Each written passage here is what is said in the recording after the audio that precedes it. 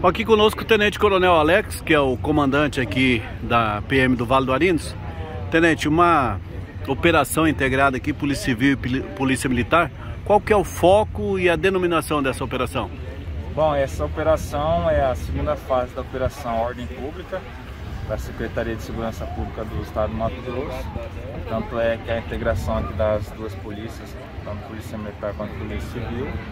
É, e hoje fazendo o lançamento, como foi feito a primeira vez em torno de um mês atrás, aqui na Praça Central de lá, na Praça do Colonizador, é, com as guarnições reunidas e após o início de uma palavra com as equipes, uma preleção, a gente vai fazer um patrulhamento na cidade, umas rondas e abordagens. E durante os próximos dias, né, é, de quinta-feira em diante até o final de semana, a gente vai atuar em toda a região do Vale do Arinos, é, municípios adjacentes, é, atendendo a demanda é, de segurança pública, é, combate à criminalidade, presença da Polícia Militar de maneira bem ostensiva na região, com apoio de equipes especializadas, como exemplo da Força Tática. Tudo isso é o Estado, a Polícia Militar, a Polícia Civil integrada para trazer a segurança ao Vale do Arinos, uma região que é, requer atenção.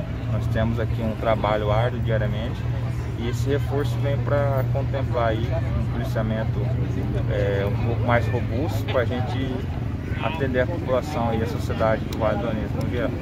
Parece que tem policiais também de outras localidades aqui, de outras cidades?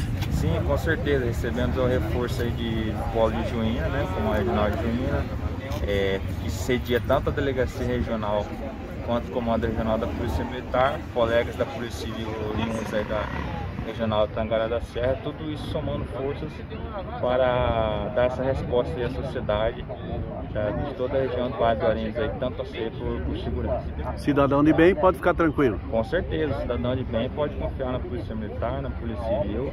Esse trabalho é exatamente para atender o cidadão de bem, focar nos cidadãos que infringem a lei, né, tirar a circulação e deixar as pessoas em segurança. As pessoas que realmente querem trabalhar, querem fazer suas coisas de maneira certa.